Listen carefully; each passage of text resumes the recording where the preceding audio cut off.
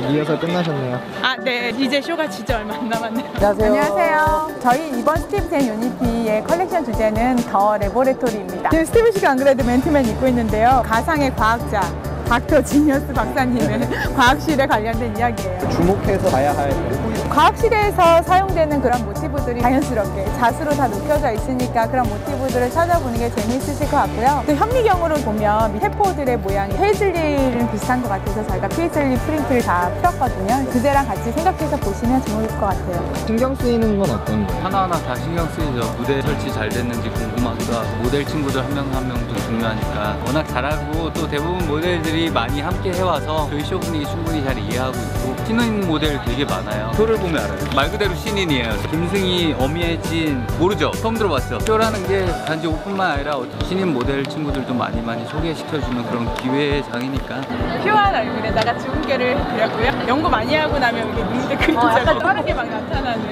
그런 메이크업을 볼 수 있을 것 같아요. 연구원들 보면 이렇게 왜 흰색 장갑 끼고 막 그러잖아요. 그래서 모델분들 막 따라 말리면서 이렇게 걸어다니고 계시더라고요. 재밌나 봐요. 체들 속에서 손을 담갔다 뺀 느낌? 뭔가 오묘한 네일인 것 같아요. 이럴 때 쇼타임을 해주셨잖아요. 이번에는 뭘 외쳐드릴까요? 쇼, 네. 쇼니까? 쇼는 쇼니까 긴장하지 말고. 네. It's the showtime!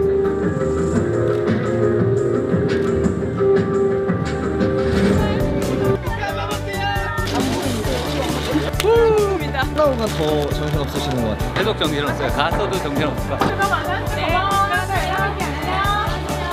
체력적으로 힘들진 않으세요? 저 사실 쇼 전에 항상 아파요. 쇼 전전날 되면 항상 응급실 갔다 오고. 그렇죠. 오늘은 이제 잘. 이번 주는 좀 살랑살랑 쉬면서 하려고요. 우리 아까 왔던 길로 가는 게 나아요. 그러면 인사하고 가요. 저희 갈게요. 아, 아이콘 TV 스티븐이 3회를 시청해 주셔서 감사합니다. 안녕.